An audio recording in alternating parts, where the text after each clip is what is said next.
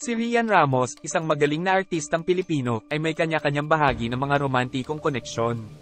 Let's delve sa ilan sa mga kapansin-pansin. Amit Borsok, bago ang kanyang kasalukuyang relasyon, si Rian ay romantically linked sa Israeli Amit Borsok.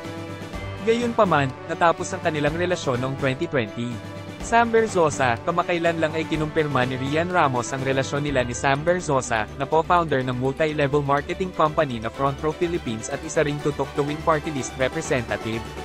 Ginawa ng mag-asawa na opisyal ang kanilang relasyon sa Instagram matapos magkasamang dumalo sa GMA Thanksgiving Gala Night.